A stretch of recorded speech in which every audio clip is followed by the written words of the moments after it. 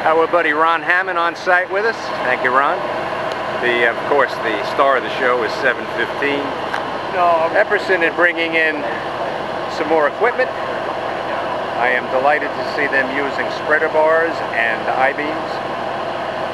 Don't risk anything. The chance with this poor old thing. Alongside me, Mr. Richard Beal. We will join him in just a second. Thank you, Richard.